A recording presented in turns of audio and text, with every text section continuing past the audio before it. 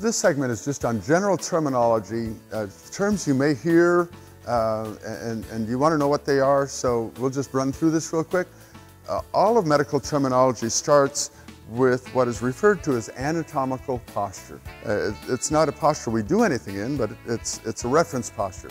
So I'm now in anatomical posture, and based on anatomical posture, we can appreciate that this is front or anterior, uh, the back is posterior, uh, but this is the anterior aspect of, of my uh, arm, and this is the posterior.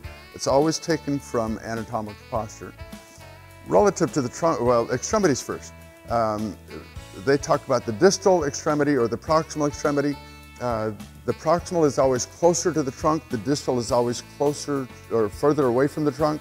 So in my forearm, for example, this is the proximal, that's the distal. In my finger, this is the proximal, that's the distal.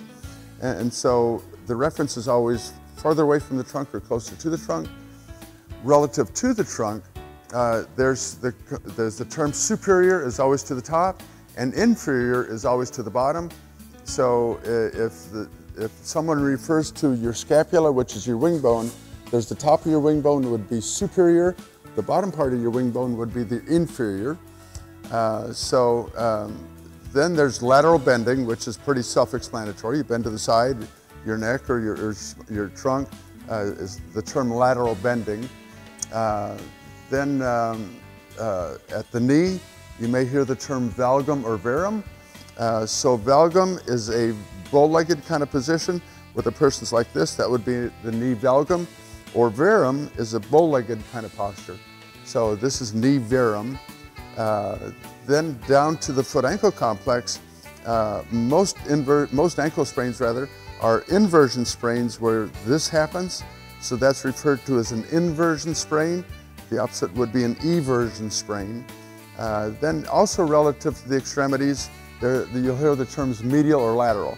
Medial will always be to the inside of the extremity, lateral will always be to the outside of the extremity. So those are the, some of the terms you may hear. Uh, we want you to be comfortable with them. When you, when you hear the, the term, you'll know what they're talking about. And, and so there are, are, downloadable PDFs where there may be other terms discussed in, in the program. Uh, look those up and, and um, we hope this helps in your understanding of your condition.